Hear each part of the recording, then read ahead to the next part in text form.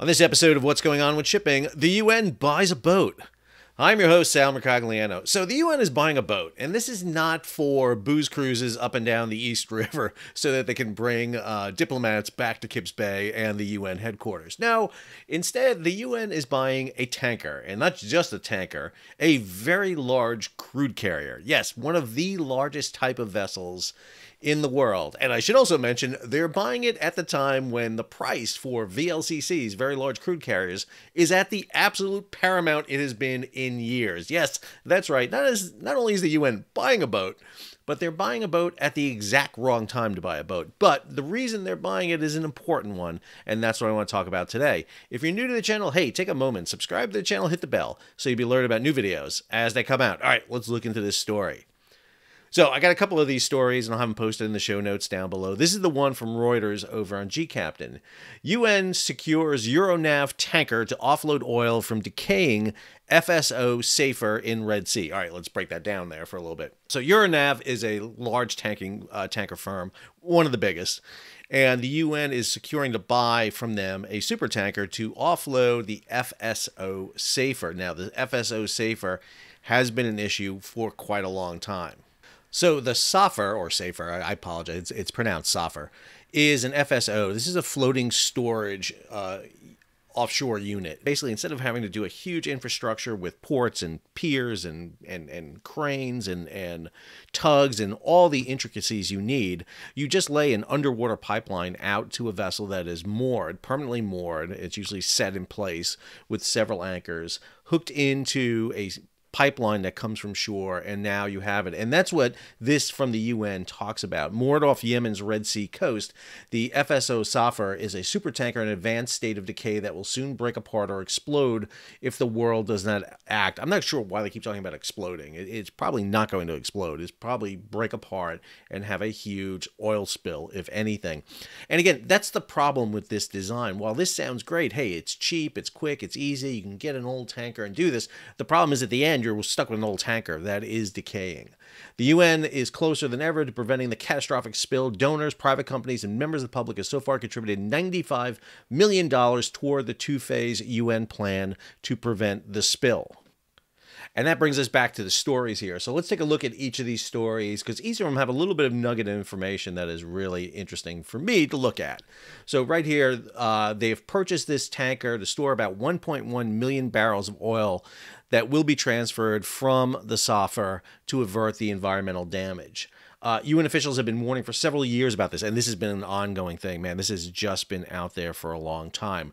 The UN said the cleanup could cost $20 billion, so obviously this is going to be cheaper than uh, the, the alternative, yet is struggling to raise the 129 million needed to remove the oil from the Safer and pay for the vessel bought from Euronav. The vessel they bought from Euronav was for $55 million. Again, you could have gotten that vessel a year ago for like 10 or uh, 15 million. But anyway, so far pledges of 95 million have been made, mostly by governments, of which 75 million has been paid. Uh, going on here, looking at several other stories. This is from over at Splash 24 7, Sam Chambers. UN buys uh, Euronav VLCC as operations to move oil from decaying FSO get moving. Again, a good summary right here for it and also a link over to the crowdfunding source. So if you want to contribute to this, you're more than welcome uh, to do it. Uh, the Safer has been a issue here off the coast of the Red Sea, not just for, for the decaying, but it's also been a hotspot. Uh, we have seen Houthi rebels in Yemen, for example, launch surface-to-surface missiles at vessels. There's been a fear that this could basically uh, uh, cause uh, damage to the vessel. Potentially, that could cause the explosion and the fire. One of the things that's noted in here a major spill would devastate fishing communities on Yemen's Red Sea coast, li likely wiping out 200,000 livelihoods instantly. So this has been a big issue. It's been it's been an essential issue. Go over here to Maritime Executive, their story, uh, very similar, but with a little bit more detail in here that I want to drive into. The UN is coordinating with marine salvage company Smit on the plan while also working to hold together a fragile agreement among the warring parties to permit the international effort. Again, you can't have anybody shooting surface to surface missiles at you. The Safer, built in 1976 as the Esso Japan, was converted to an FSO in 1987 and remains uh, anchored approximately five and a half miles offshore in an area held by rebel forces. Operations were suspended in 2015 during the ongoing civil war, with a skeleton crew aboard to provide essential maintenance, but the ship has deteriorated and it continues to deteriorate over the course of eight years. Smit has been working at the vessel for the past few months with the UN preparing for a ship to ship transfer. Uh, officials say they're anxious to get the new tanker alongside and expect it will arrive in Yemen by late April, early May. I am going to expect that the UN is going to request a naval escort for the vessel to provide some sort of security for it. Uh, the effort was slowed uh, slowed by the difficulties UN experienced in securing a replacement vessel as well as a prolonged fundraising effort. In January, they reported having difficulty securing a tanker, and the prices for vessels have risen dramatically due to the war in Ukraine and changes in the global oil markets. Again, VLCCs are right now being used to haul oil out of the Gulf Coast of the United States across to Europe. That is something VLCCs have never been used for. But yet you're seeing that now. Why? Because Russian crude is cut off to the European Union and G7. Uh, goes on here. UN officials uh, report that they have commitments from the global community as well as through online crowdfunding for a total of 95 million, of which 75 million has been received. They have long warned of the potential for catastrophic disaster could result in $20 billion cleanup. They have estimated the environmental impact on fishing and marine life could last 25 years. So, this is a huge story that's going on. And again, it's great to see the UN taking action about this. I do have several questions. The vessel in question is heading into a dry dock to be surveyed and uh, put uh, ready for the transfer operation. I do have a, several questions. Number one, who is going to operate this vessel? The UN does not have a shipping firm. So is Euronav going to operate this for them? Are they receiving a charter from uh, the United Nations? What flag does this ship fly? I, I mean, you have to register it somewhere. Could it be registered under the IMO, the International Maritime Organization? This is the shipping agency of the UN that oversees all international shipping.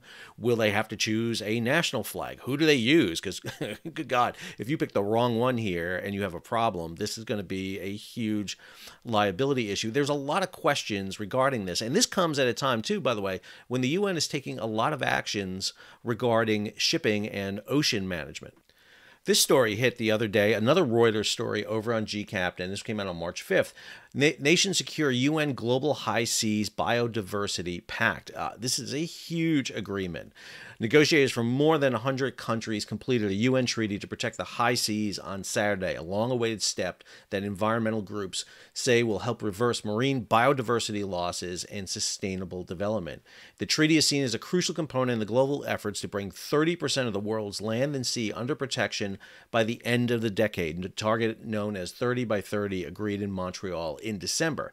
Economic interests were a major sticking point throughout the last round of negotiations, which began on February 20th, with developing countries calling for a greater share of the spoils from the blue economy. Uh, it goes on here. The European Commission, the executive arm of the EU, hailed the agreement as a historic moment.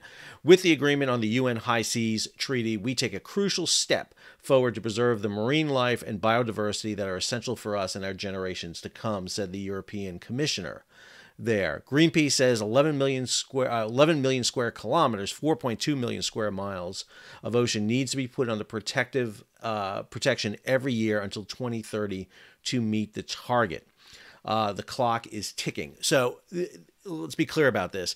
This is looking at areas outside the economic exclusion zones of countries. So this is not territorial waters. It's not economic waters. These are open areas, particularly areas out in the middle of the ocean off of Antarctica that need protection of some kind. They're basically the lawless sea in many areas. And I don't know how well this treaty is going to be received by every nation. Understand the United States which authored, well, it didn't author, but was one of the co sponsors for the United Nations, uh, what's called UNCLOS, the UN Convention of the Law of the Sea, which came out in 1982, has been ratified by nearly every country on the planet except the US. uh, is the law by which most nations abide to. We honor UNCLOS, but we're not a signatory to it, whereas China is a signatory to it and they don't always abide by it.